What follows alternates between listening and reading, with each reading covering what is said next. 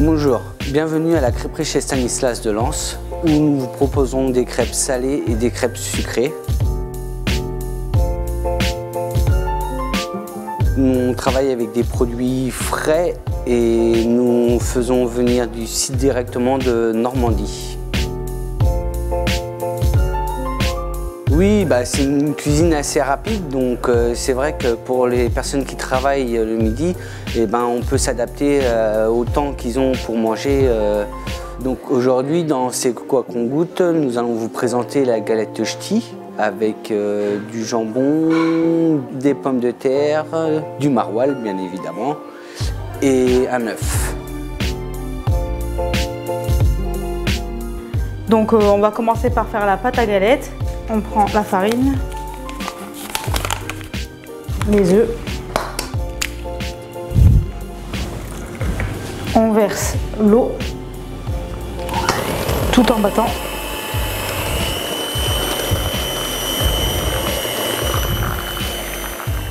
Et ensuite le cidre.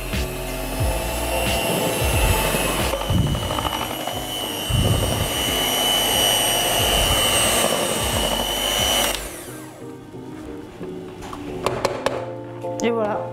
Alors maintenant que la pâte est prête, on va la cuire. Pour cela, on va utiliser la crêpière rectangle. Parce qu'ici, les crêpes rondes, c'est que pour les desserts. J'huile la crêpière. Je vais mettre ma pâte dans l'appareil. Voilà. Et je vais faire ma galette. Alors la cuisson de la galette terminée, on peut faire la préparation. Alors je mets un peu d'huile, mes pommes de terre, le maroilles et de la crème. Je mets du sel et du poivre. Je fais en même temps mon œuf au plat.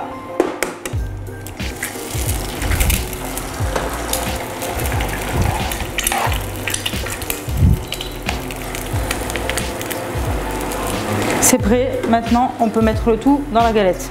Je mets l'œuf en premier dans la galette. Ensuite mes pommes de terre avec ma crème au maroilles. Et pour finir, les tranches de jambon. Je referme.